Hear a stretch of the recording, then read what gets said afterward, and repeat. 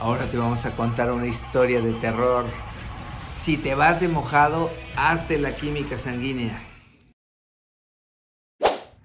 Miren, eh, a través de los años he tenido pues la pues mala fortuna y mala fortuna para los pacientes de conocer casos que suceden de esta forma.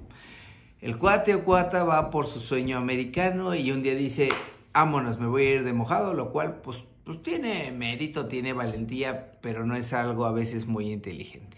Porque sin duda el que se va de mojado tiene que dormir a la intemperie muchos días, tiene que pasar el desierto, va a pasar deshidratación, hambre, muchas malpasadas y bueno, va a arriesgar su vida. Muchos de hecho pues mueren en el intento. Pero hay algunos que no mueren y no se hicieron nunca un laboratorio antes de ir a ver si ellos podían soportar todo eso.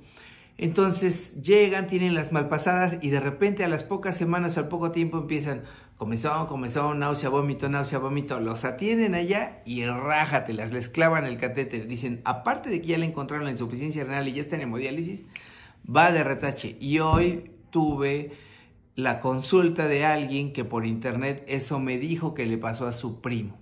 Y entonces el primo se fue allá y pues todo pasó, ni se quedó, ni le dieron trabajo, nada más le clavaron la hemodiálisis y vas de retache.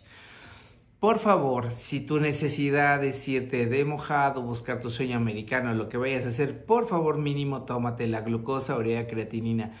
Y si no están normales, deberías de pensarlo dos veces, porque la posibilidad de que tengas un mal resultado y que incluso puedas fallecer en el intento existe.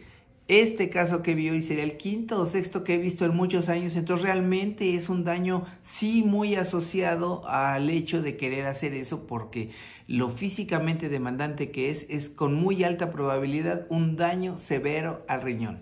Ojo con eso.